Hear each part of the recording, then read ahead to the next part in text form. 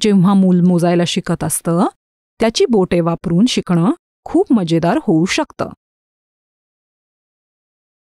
तुम्ही म्हणू शकता तुझी बोटं दाखव. मग तुम्ही एकत्र बोटं मोजा.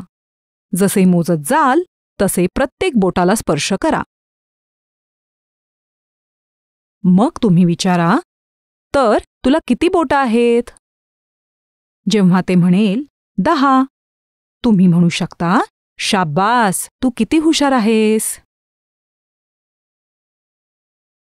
मग तुम्ही त्यांना तुमची बोटं मोजायला सांगा. तुम्ही वेगवेगळ्या अंकांसोबत असे खेळू शकता. उदाहरणार्थ तीन किंवा सात बोटं मोजणे.